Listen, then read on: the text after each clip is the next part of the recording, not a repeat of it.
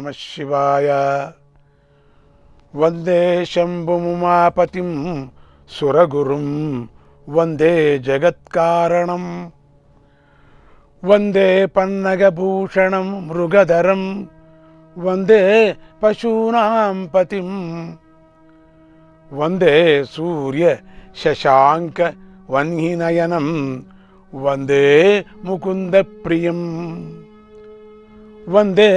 ముకుంద భక్తజనాశ్రయం చ వరదం. వందే శివం శంకరం. వందే శివం శంకరం. శివుడి చరిత్ర అపారం. పరమపావనం శివుడి రూపం మనోహరం. అంతటి శివప్రభువు యొక్క గొప్పదనం ఒక్క వేదాల వల్లే తెలుస్తుంది. పూర్వం పరమేశ్వరుడు రాక్షస మాయాశక్తులను పారద్రోలి త్రిపురాలను జయించాడు. అలా త్రిపురాలను జయించటం మూలంగా శివుడు దేహభ్రాంతిని దూరం చేస్తాడు అనే పేరును పొందాడు. సూర్యుడు చంద్రుడు అగ్ని అనే ముగ్గురు దేవతలను తనకు మూడు కళ్ళుగా చేసుకొని త్రినేత్రుడయ్యాడు. ఆ విశ్వేశ్వరుడికి ఆకాశం జడలై ఉంది. ఆ జడలే ఆయనకు కిరీటాలై ఉన్నాయి. పణిరాజులు అంటే పాములు మణిహారాలై ఉన్నాయి. ఆయనే జీవులందరికీ పశుపతి పరమపతి అయి ఉన్నాడు. కామధేనివై ఉన్నాడు. అటువంటి స్వామి యొక్క పాదాలు పట్టుకొని తరించాలి కానీ విషయసుఖాల పట్ల భ్రాంతి చెంది ఈ జన్మను వ్యర్థం చేసుకోకూడదు కదా. అంటే మణులను విడిచిపెట్టి గాజు పెంకుల వైపుకు పరిగెత్తకూడదు. అవి పళపళ పళపళ అంటూ ఉంటాయి గాజు పెంకులు. మణులు కన్నా అద్భుతంగా ఉంటాయి. అవే రియాలిటీ అని పోయి పట్టుకుంటాం. పాలు ఇచ్చే ఆవును విడిచిపెట్టి పాలు ఇవ్వని ఆవు వద్దకు పోకూడదు. శివుడి పాదాలను హృదయ పద్మాల్లో నిలుపుకొని ఆయనను భజించి తరించాలి. ఆ దేవదేవుడికి నిశ్చలమైన మనస్సే కావాలి. నిర్మలమైన మనస్సే కావాలి. అందుచేత ఓ ప్రభు నేనేమి చదువుకోలేదు కనుక నాకు ధర్మాలు తెలియవు శాస్త్రాలు తెలియవు పాట పాడటం తెలీదు ఆట ఆడటమూ తెలీదు అని ఒప్పుకొని భక్తి కలిగి ఉంటే చాలు. ఆ భక్తుడి బాధ్యతను పరమశివుడే చూసుకొని ధర్మ మార్గంలో నడిపిస్తాడు. ఎందుకంటే శివుడు సర్వజ్ఞుడు. ఆయనకు అన్నీ తెలుసు. దీనులను ఆదుకుంటూ ఉంటాడు. అజ్ఞానులైన జీవులను రక్షిస్తూ ఉంటాడు. ఆ మృత్యుంజయుడిని మెప్పించటానికి తర్కవాదాలు పనికిరావు. తర్కవాదాలంటే కుండకు మట్టి ఆధారము. ఆ మట్టికి అణువులు ఆధారం. ఆ అణువులకు పరమాణువులు ఆధారము. కనుక ఇప్పుడు కుండకు ప్రధానమైనది మృత్తికనా అణువణువుల పరమాణువుల అనే వాదాలను తర్కవాదాలు అంటారు. ఇవి శివుడి అనుగ్రహం పొందటానికి పనికిరావు. ఈ తర్కం పనికిరాదు. శివుడు అనుగ్రహం పొందాలి. ఇది ఏదో జ్ఞానానికి పాఠానికి పనికొస్తుందేమో కానీ శివుడు అనుగ్రహానికి పనికిరావు. అలాగే అదిగో కొండ. కొండపై పొగ వస్తుంది. పొగ వస్తుంది కనుక అక్కడ ఖచ్చితంగా అగ్ని ఉంటే ఉంటుందని చెబుతూ ఉంటారు. అలాగే వస్త్రం ఏర్పడటానికి దారం ఆధారం. ఆధారం ఏర్పడటానికి పత్తి ఆధారం అని అంటూ ఉంటారు. ఇవన్నీ హేతువాదానికి సంబంధించిన చర్చలు. అటువంటి చర్చలు కూడా శివుడి అనుగ్రహం పొందటానికి పనికిరావు. అసలు ఇవేవి కూడా మృత్యువును జయించలేవు. దీని మూలంగా ఊరికే ఆయుహు కాలం వ్యర్థమైపోతుంది.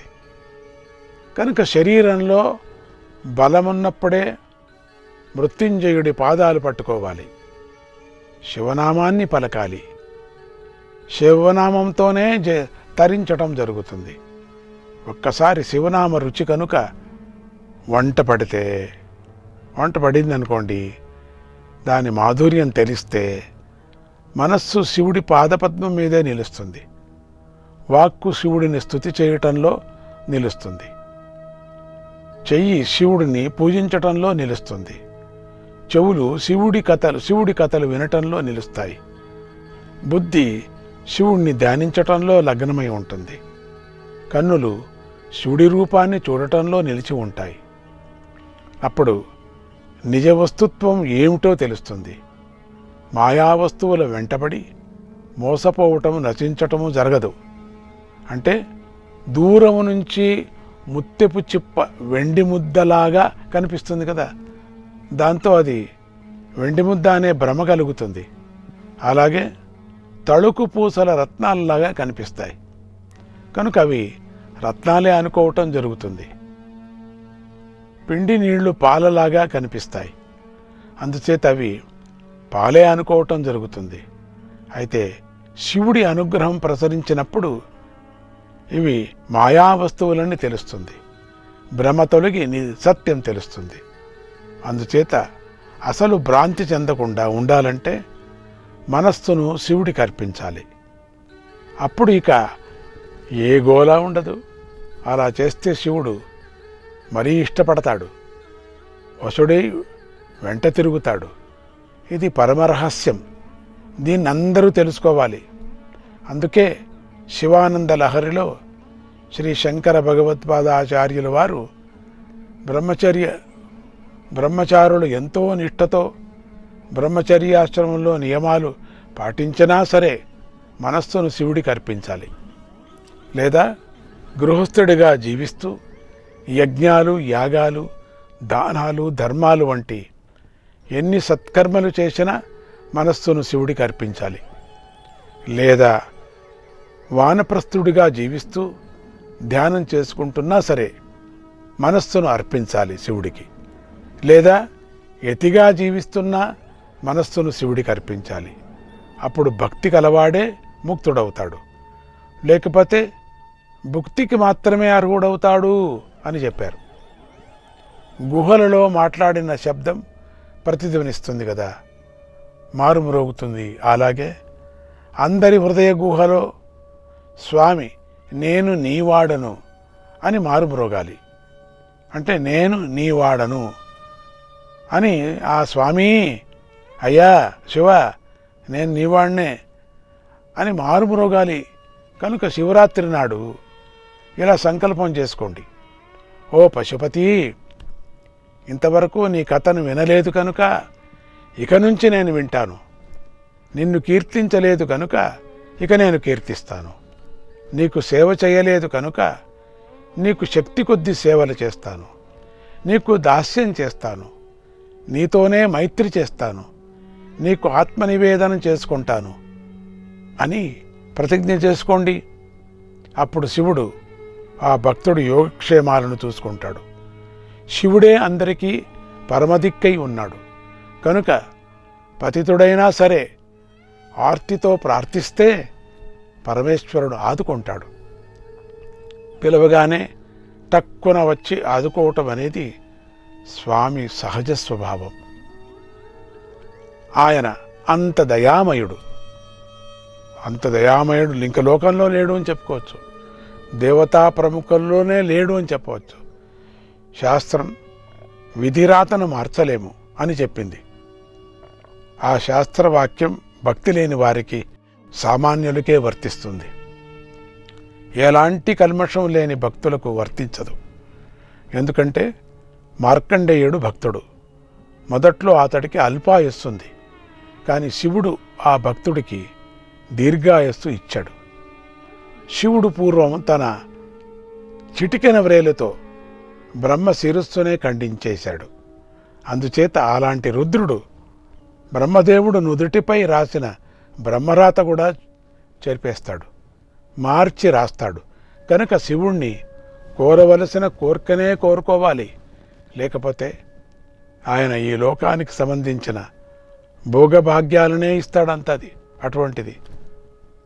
తన ఎందు దృఢమైన భక్తి గల భక్తులకు స్వామి మొదటిగా దురాశను తొలగిస్తాడు.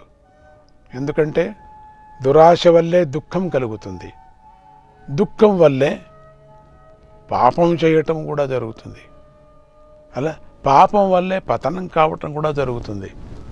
అందువల్ల శివుడు ముందు దురాశను నాశనం చేస్తాడు. అటువంటి విశ్వనాథుడి యొక్క శివనామ మహిమను శ్రీమద్ భాగవతంలో సతీదేవి ఇలా చాటింది.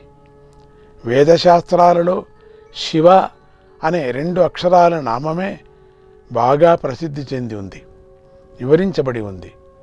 అటువంటి నామాన్ని బుద్ధితో పలికినా మాట్లాడుతూ అవలోలగా పలికినా సరే సకల పాపాలు నశించిపోతాయి. శివుడి కీర్తిని గానం చేయటం వల్ల మానవుడు పవిత్రుడవుతాడు అని చెప్పింది. శివుడు కోపానికి అధిదేవత. అయితే విశేషం ఏమిటంటే ఆయనకు గల కోపము మొదలైన గుణాలు కూడా భక్తులు భక్తులకంత వరాలు ఇస్తాయి కోరికలు కూడా తీరుస్తాయి. అందుకే రుద్రమంత్రం శివుడి కోపానికి నమస్కారం పెట్టాలని చెప్పింది. రుద్రుడి యొక్క కోపానికి నమస్కారం పెడితే ఆయన కోపం బయట శత్రువుల వైపుకు తిరిగి వారిని నాశనం చేస్తుంది. లోపలి శత్రువుల వైపుకు తిరిగి వానికి కూడా నాశనం చేస్తుంది. అలాగే ఆయన బాణము ధనస్సు బాహువులకు మంగళకరమైన రూపానికి నమస్కారం పెట్టినా చాలు మేలు జరుగుతుంది. ఇలా శుభుడైన శివుడు అశుభాలన్నీ తొలగిస్తాడు. పునర్జన్మ లేకుండా చేస్తాడు. కనుక ఈ మహాశివరాత్రి నాడు భక్తితో శివుణ్ణి పూజించండి. శివుడికి అభిషేకం చేయండి. శివపురాణాన్ని చదవండి. శివుడి స్తోత్రాలు పఠించండి. శివుణ్ణి కీర్తిస్తూ నామ సంకీర్తన చేయండి. మీపై శివానుగ్రహం ప్రసరించుగాక అని ఆశీర్వదిస్తూ ఓం నమ శివాయ. పలకండి. ఓం నమ శివాయ. అందరూ పలకండి. ओम नमः शिवाय।